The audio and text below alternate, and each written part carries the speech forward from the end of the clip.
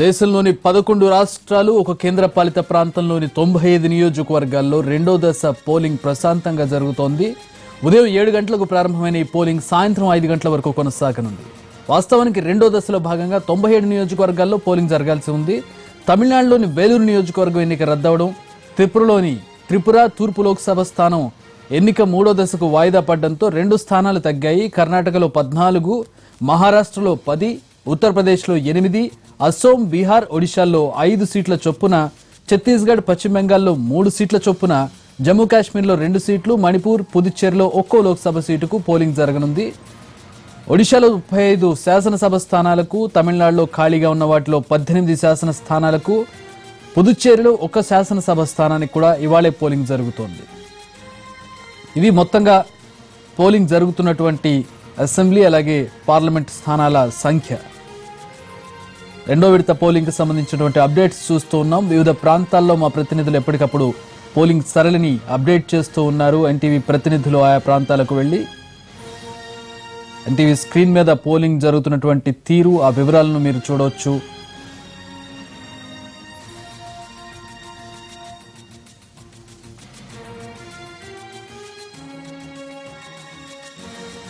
And వివిధ రాష్ట్రాల్లో ఓవరాల్గా పోలింగ్ ఏ విధంగా జరుగుతోంది? పూర్తి వివరాలు మా ప్రతినిధి ప్రసాద్. దేశ రాజధాని ఢిల్లీ నుంచి మరిన్ని వివరాలు అందిస్తారు. ప్రసాద్ ఎట్లా జరుగుతుంది పోలింగ్ సరళిని? ఎట్లా అబ్జర్వ్ చేస్తూ ఉన్నారు? ఆంధ్రప్రదేశ్ అస్సాం రాష్ట్రాల్లో కొంత కొన్ని ఈవీఎంలు కొంత మొరాయించినట్టుగా తెలుస్తుంది. ముందు ఓ తొలి గంటపాటు గంట పాటు కూడా కొంత పెద్దగా ఈ ఓటింగ్ సరళి అంత పుంజుకోలేదు. ఆ తర్వాత మాత్రం మరలా ఈవీఎంస్ పనిచేయడం ప్రారంభించాయి.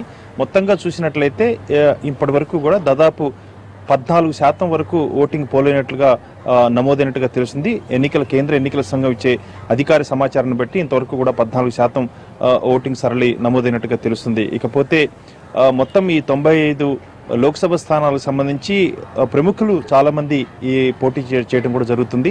ప్రధానంగా ఫతేపూర్ సిక్ నుంచి రాజ్ బబ్బర్ ఉత్తరప్రదేశ్ కాంగ్రెస్ పార్టీ అధ్యక్షుడిగా ఉన్నారు ఆయన రెండు వేల తొమ్మిది లోక్సభ స్థానాన్ని పోటీ చేసి ఓడిపోయారు. అయితే ఈసారి దాంట్లో గెలుపొందాలని చెప్పి ఫతేపూర్ సిక్ నుంచి పోటీ చేస్తున్నారు. గట్టి పోటీని కూడా ఎదుర్కొన్నారు బీజేపీ బీఎస్పీల నుంచి. ఇకపోతే హేమ్మాల్ని మథుర లోక్సభ స్థానం నుంచి ఆమె పోటీ పడుతున్నారు. ఆమె ఎక్కడి నుంచో వచ్చారు? ఆమె లోకల్ కాదు స్థానికం కాదంటూ కూడా ఒక కొత్త నినాదన చేసి అజిత్ సింగ్ కుమారుడు అక్కడ ఆమెకు గట్టిగా పోటీ ఇస్తున్నారు. ఇకపోతే తూత్తుకూడి తూత్తుకూడి కనిమొళి కరుణానిధి కుమార్తె అదేవిధంగా ప్రస్తుత డిఎంకే పార్టీ అధ్యక్షుడు స్టాలిన్ సోదరి కణిమొళి అక్కడి నుంచి తొలిసారిగా లోక్సభ స్థానానికి పోటీ చేస్తున్నారు. ఇప్పటివరకు కూడా ఆమె రాజ్యసభ సభ్యురాలుగా ఉన్నారు. ఆమె తొలిసారిగా ఎన్నికల రంగంలో ఎన్నికల బరిలో ఉన్నారు. ఆమె తూత్తుకుడి నుంచి ఆమె పోటీ చేయనున్నారు. ఇకపోతే తమిళనాడు సంబంధించి తమిళనాడు బీజేపీ అధ్యక్షురాలు doctor Soundara Sounda Tamilisai Soundararajan ఆమె అక్కడి నుంచి ఆమెకు గట్టి పోటీ ఇస్తున్నారు. ఇకపోతే కన్యాకుమారి పొన్ రాధాకృష్ణన్ కేవలం తమిళనాడు నుంచి ఏకైక స్థానం బీజేపీ గెలుచుకుంది. అది కన్యాకుమారి లోక్సభ స్థానం. ఆ కన్యాకుమారి నుంచి మరొకసారి గెలవాలని చెప్పి పొన్ రాధాకృష్ణన్ ఆయన గతంలో ఆర్థిక మంత్రిగా కూడా పనిచేశారు. ఇప్పుడు ఆయన కేంద్ర మంత్రిగా కూడా ఉన్నారు. తో పొన్ రాధాకృష్ణన్ అక్కడి నుంచి మరొకసారి పోటీ చేసి గెలుపొందే ప్రయత్నం చేస్తున్నారు. ఇకపోతే శివగంగ కార్తీ చిదంబరం శివ శివగంగ స్థానం నుంచి తన తండ్రి చిదంబరం దాదాపు ఏడు సార్లు ఎంపీగా గెలిచారు. గత యూపీఏ ప్రభుత్వం రెండో ప్రభుత్వంలో కూడా ఆయన చాలా వివాదాస్పదమైనటువంటి గెలుపును కూడా శివగంగ స్థానం నుంచి సాధించడం జరిగింది. తన కుమారుడు అక్కడి నుంచి పోటీ చేసేందుకు గతంలో పో- ప్రయత్నం చేసినప్పుడు కూడా అక్కడ ఓటమి పాలయ్యారు. మరొకసారి తన యొక్క విజయాన్ని పరీక్షించుకుంటున్నారు. అదే శివగంగా లోక్సభ స్థానం నుంచి. ఇకపోతే బెంగళూరు ఉత్తర స్థానం నుంచి సదానంద గౌడ ఆయన కేంద్ర మంత్రిగా ఉన్నారు. ఆయన మరొకసారి ఇక్కడి నుంచి పోటీ చేసి గెలుపొందే ప్రయత్నం చేస్తున్నారు. అక్కడ తొలిసారిగా ఈ స్థానం నుంచి మొదటిసారిగా దేవగౌడ నుంచి దేవగౌడ పోటీ చేసే అవకాశం ఉందని చెప్పి వార్తలు వచ్చినప్పటికీ కూడా అది పొత్తులో భాగంగా సదానంద గౌడ్కి వెళ్ళింది. సదానంద గౌడ్ అక్కడి నుంచి పోటీ చేసే ప్రయత్నం చేస్తున్నారు. గెలుపొందే ప్రయత్నం చేసి ఇకపోతే మాండ్య లోక్సభ స్థానం కర్ణాటక నుంచి సుమలత అంబరీష్ సూపర్ స్టార్ అంబరీష్ భార్య సుమలత ఆమె కూడా సినీ యాక్టర్ యాక్ట్రెస్. ఆమె అక్కడి నుంచి పోటీ పడుతున్నారు. అక్కడ బీజేపీ చాలా గట్టిగా ఆమెకు సపోర్ట్గా కూడా చేస్తుంది. ఇకపోతే నిఖిల్ కుమార్ స్వామి ఇప్పుడు ప్రస్తుత కుమారస్వామి చీఫ్ మినిస్టర్ కుమారస్వామి కుమారుడు నిఖిల్ కుమారస్వామి అక్కడి నుంచి పోటీ పడుతున్నారు.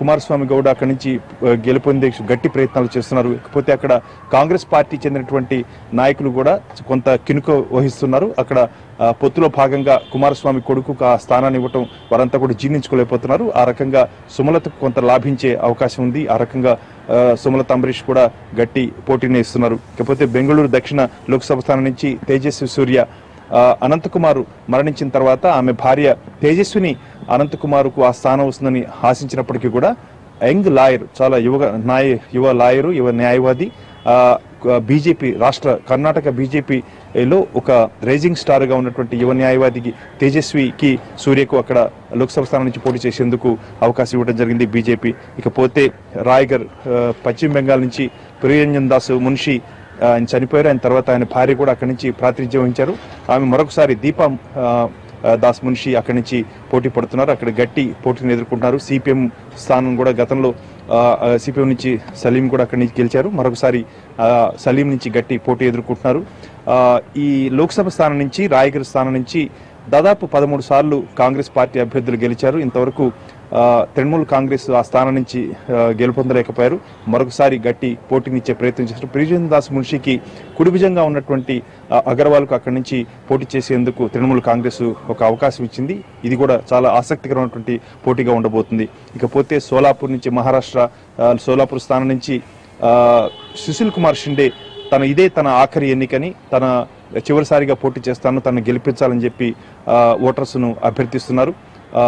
సోలాపూర్లో ఆ, దాస్ సు- సుశీల్ కుమార్ షుండే అక్కడి నుంచి గట్టి పోటీ చే- చేసే ప్రయత్నం చేస్తున్నారు. ఇకపోతే తుముకూరు నుంచి మాజీ ప్రధాని దేవుగౌడ తన తను గెలుపొందేకి ప్రయత్నం చేస్తున్నారు. ఈ రకంగా అనేకటువంటి స్థానాలే కాకుండా జమ్మూ కాశ్మీర్ నుంచి ఫరూక్ అబ్దుల్లా కూడా పోటీ పడుతున్నారు. ఈ మొత్తం తొంభై ఐదు లోక్సభ స్థానాల్లో ఈ ప్రముఖులుగా ఉన్నటువంటి ఈ స్థానాలకు సంబంధించి సినీ యాక్టర్స్ ఉన్నారు అదేవిధంగా ప్రముఖ రాజకీయ నాయకులు ఉన్నారు కేంద్ర మంత్రులు ఉన్నారు.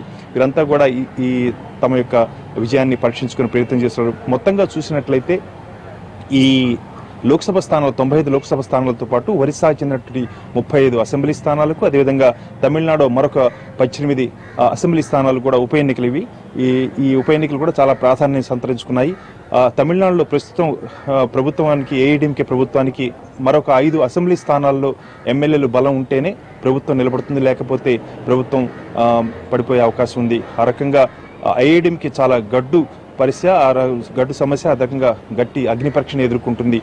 ఈ రకంగా ఈ దేశవ్యాప్తంగా రెండో విడత జరిగే ఈ మొత్తం ఎన్నికల్లో దాదాపు పదహారు కోట్ల మంది ఓటర్లు తమ ఓటకును వినియోగించుకున్నారు. కేంద్ర ఎన్నికల సంఘం పూర్తి స్థాయిలో అనేకమైనటువంటి భద్రతా చర్యలు చేపట్టింది. అయితే త్రిపురలో జరిగే లోక్సభ స్థానానికి మాత్రం అత్యంత చాలా పటిష్టమైనటువంటి భద్రతా చర్యలు తీసుకోలేదు. అక్కడ శాంతి భద్రతలు విఘాతం కలిగించే అవకాశం ఉందన్న ఉద్దేశంతో అక్కడ ఆ స్థానాన్ని ఏప్రిల్ ఇరవై మూడో తేదీకి వాయిదా వేయడం జరిగింది. తదుపరి జరిగే మూడో విడత ఎన్నికల్లో ఆ త్రిపుర స్థానానికి ఓటు జరిగే అవకాశం ఉంది. ఇకపోతే తమిళనాడు వెల్లూరు లోక్సభ స్థానం పెద్ద ఎత్తున క్యాష్ ప- డబ్బు పట్టుబట్టడంతో ఐటీ రైట్స్ వివాదాల నేపథ్యంలో వెల్లూరు లోక్సభ స్థానాన్ని కూడా వాయిదా వేయటం జరిగింది. మొత్తానికి ఈ తొంభై ఐదు లోక్సభ స్థానాలు ఒరిస్సాలో ముప్పై ఐదు అసెంబ్లీ స్థానాలు తమిళనాడులో మరొక పద్దెనిమిది అసెంబ్లీ స్థానాలకు ఉప ఎన్నికలు ఇవి ఈ మొత్తం స్థానాలకు జరిగే ఈ ఎన్నికల్లో దాదాపు పదహారు కోట్ల మంది ఓటర్లు తమ ఓటుకును వినియోగించుకుంటారు. ఇప్పటి వరకు దాదాపు పద్నాలుగు శాతం ఓటింగ్ నమోదైనట్టుగా ఓటింగ్ శాతం నమోదైనట్టుగా తెలుస్తుంది. కేంద్ర ఎన్నికల సంఘం ఎప్పటికప్పుడు అనేక స- ఈ పోటీ జరుగుతున్నటువంటి ఈ స్థానాలకు సంబంధించిన సమాచారాన్ని ఎప్పటికప్పుడు తెప్పించుకుంటున్నారు. ఆ, కేంద్ర ఎన్నికల సంఘం కూడా దీన్ని అధికారికంగా తన యొక్క సమాచారాన్ని ఆ, జారీ చేస్తుంది. థ్యాంక్స్ ఫర్ అప్డేట్స్ ప్రెస్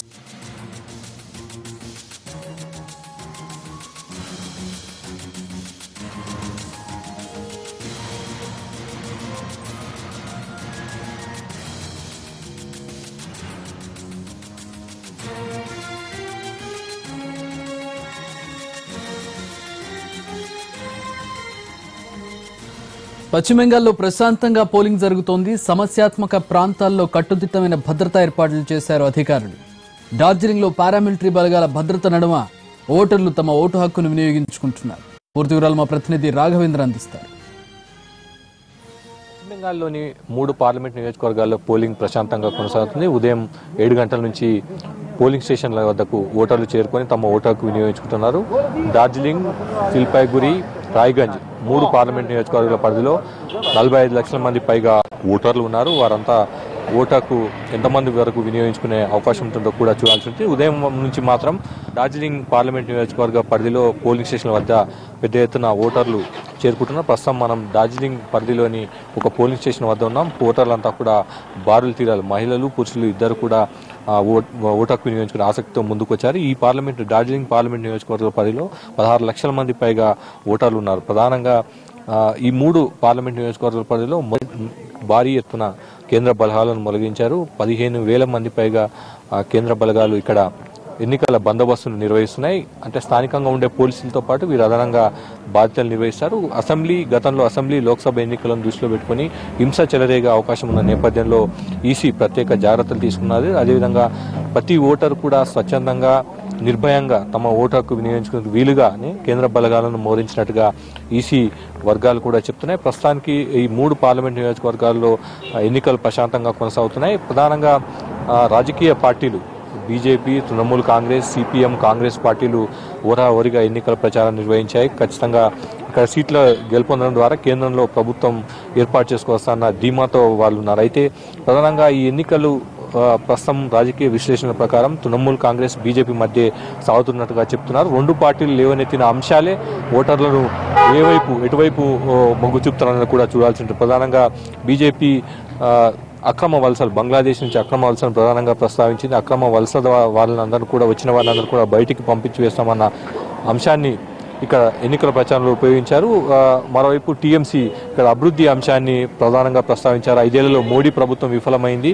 మరోసారి అవకాశం ఇవ్వకూడదన్న వాదన కూడా వినిపించారు. అయితే పశ్చిమ బెంగాల్లో నలభై రెండు లోక్సభ స్థానాలనే వాటిలో ఖచ్చితంగా ఇరవై పైగా స్థానాలు గెలుపొందాలన్న ఆలోచన బీజేపీ చేస్తుంది. మరోవైపు తృణమూల్ కాంగ్రెస్ కూడా ముప్పై పైగా లోక్సభ స్థానాలను గెలవాలన్న ఆలోచనతో ఉంది.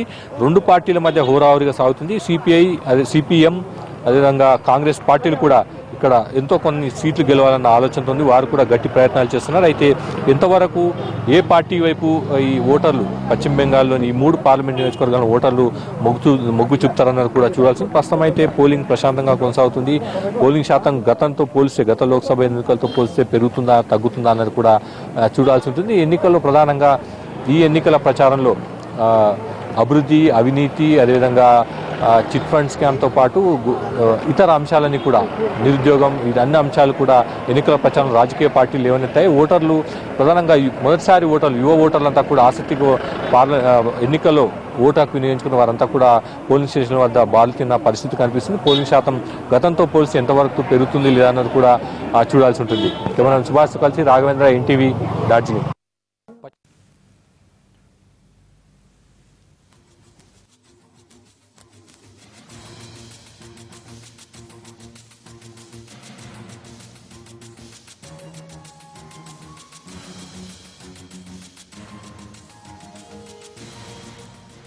దేశంలోని వివిధ ప్రాంతాల్లో రెండో దశ పోలింగ్ జరుగుతూ ఉంది. ఆ ప్రాంతాల నుంచి ఎన్టీవీ ప్రతినిధులు రిపోర్ట్ అందజేస్తూ ఉన్నారు. మొత్తం పదకొండు ప్రాంతాల్లో జరుగుతుంది. పదకొండు రాష్ట్రాలు ఒకే కేంద్ర పాలిత ప్రాంతంలో తొంభై ఐదు నియోజకవర్గాల్లో రెండు దశ పోలింగ్ ప్రశాంతంగా జరుగుతుంది. ఉదయం ఏడు గంటలకు ప్రారంభమైన ఈ పోలింగ్ సాయంత్రం ఐదు గంటల వరకు కొనసాగనుంది. ప్రస్తుతం కొన్ని దగ్గరలో ఈవీఎంలు మొరాయిస్తున్నట్లుగా కనపడుతోంది. వాస్తవానికి రెండో దశలో భాగంగా తొంభై ఏడు నియోజకవర్గాల్లో పోలింగ్ జరగాల్సి ఉంది. కొన్ని ఎక్స్క్లూడ్ అయ్యాయి. పలు కారణాల వల్ల. తమిళనాడులోని వేలూరు నియోజకవర్గంలో భారీగా అక్కడ ఉన్నటువంటి డిఎంకే అభ్యర్థి డబ్బు పంచుతూ పట్టుబడిన నేపథ్యంలో అక్కడ ఉన్నటువంటి ఎన్నికలను వాయిదా వేశారు. ఇక త్రిపురలోని త్రిపుర తూర్పు లోక్సభ స్థానం ఎన్నిక మూడో దశకు వాయిదా పడింది. రెండు స్థానాలు తగ్గాయి దీంతో మొత్తంగా. ఇక కర్ణాటకలో పద్నాలుగు మహారాష్ట్రలో పది ఉత్తరప్రదేశ్లో ఎనిమిది అసోం బీహార్ ఒడిశాలో ఐదు సీట్ల చొప్పున ఛత్తీస్గఢ్ పశ్చిమ బెంగాల్లో మూడు సీట్ల చొప్పున జమ్మూ కాశ్మీర్లో రెండు సీట్లు మణిపూర్ పుదుచ్చేరిలో ఒక్కో లోక్సభ సీటుకు పోలింగ్ జరగనుంది. ఒడిశా చూసినట్లయితే ముప్పై ఐదు శాసనసభ స్థానాలకు తమిళనాడులో ఖాళీగా ఉన్న వాటిలో పద్దెనిమిది శాసనసభ స్థానాలకు పుదుచ్చేరిలో ఒక శాసనసభ స్థానానికి కూడా ఇవాళ పోలింగ్ జరుగుతుంది. మొత్తంగా అసెంబ్లీ స్థానాలకు అలాగే పార్లమెంట్ స్థానాలకు ఈరోజు రెండో దశ పోలింగ్ జరుగుతోంది. సమస్యాత్మక ప్రాంతాల్లో సున్నితమైనటువంటి ప్రాంతాల్లో భారీ బందోబస్తును ఏర్పాటు చేశారు. కొద్దిసేపు క్రితం మన డార్జిలింగ్ నుంచి మా ప్రతినిధి రాఘవేంద్ర అందించిన వివరాలను చూసాం పోలింగ్ సరళికి సంబంధించి ఇక ఒడిశాలోని నూట నలభై ఏడు స్థానాలకు ఇరవై రెండు పార్లమెంట్ల నియోజకవర్గాలకు రెండో దశ ఎన్నికలు జరుగుతున్నాయి. భువనేశ్వర్లో సీఎం నవీన్ పట్నాయక్ ఐదోసారి పోటీ చేయబోతున్నారు. హంజలీ ఘాట్ నుంచి మా ప్రతినిధి రవిచంద్ర మరిన్ని వివరాలు అందిస్తారు.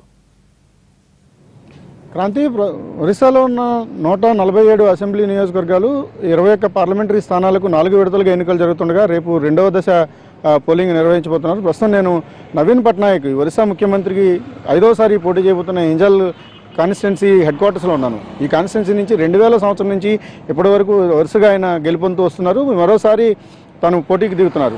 ఇప్పటి వరకు జిల్లా మొత్తం ఒరిస్సా రాష్ట్రంలో బీజూ జనతాదళ్ పార్టీ తన ఆధిక్యాన్ని ప్రదర్శిస్తోంది. ప్రాంతీయ పార్టీగా తన హవాను చాటుకుంటోంది. గడిచిన కొంతకాలం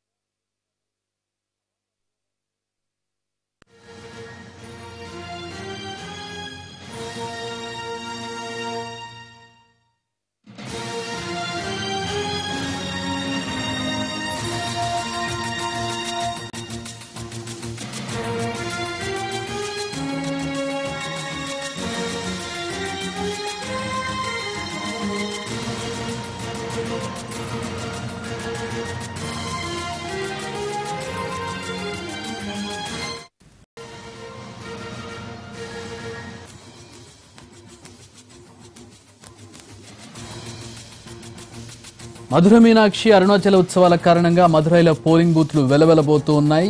పది లక్షల మంది ఓటర్లు ఉండగా పదుల్లో ఓటర్లు వచ్చి ఓటు హక్కు వినియోగించుకుంటున్నారు. పండుగ కారణంగా రాత్రి ఎనిమిది గంటల వరకు ఓటేసేందుకు ఎన్నికల కమిషన్ అవకాశం ఇచ్చింది.